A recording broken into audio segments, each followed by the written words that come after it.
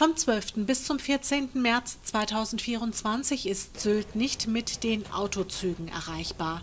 In einem letzten Schritt wird das neue elektronische Stellwerk in Westerland in dieser Zeit in Betrieb genommen. Während des Softwarewechsels ist kein Autozugverkehr möglich. Reisende, die mit dem Pkw unterwegs sind und Frachtfahrten sind nur mit der Syltfähre möglich. Personenzüge werden auf Sylt durch Busse ersetzt. Inwieweit Zugfahrten bis Nibel oder Klangsbühl möglich sind, dazu hat sich die DB noch nicht festgelegt.